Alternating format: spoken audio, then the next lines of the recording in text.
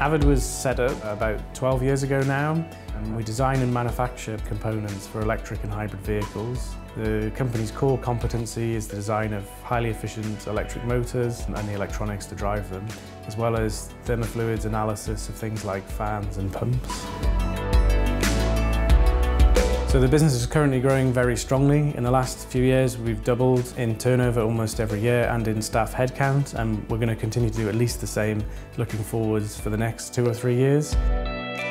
The support we've had from Innovate UK has been really essential to the growth of the business.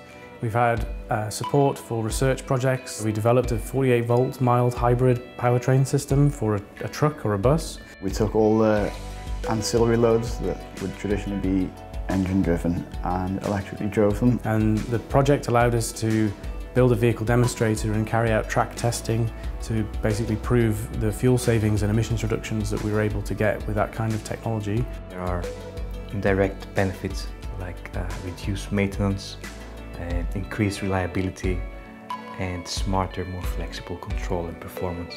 That's really allowed Avid to become the leader in, in the marketplace We've accessed the Knowledge Transfer Partnership Programme, which allowed us to develop a link with a university and employ a PhD student.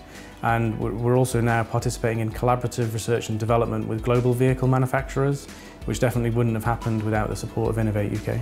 We're also seeing some really interesting new demand come through from the aerospace market, robotics and stationary power. So it's a, it's a really exciting time for the business.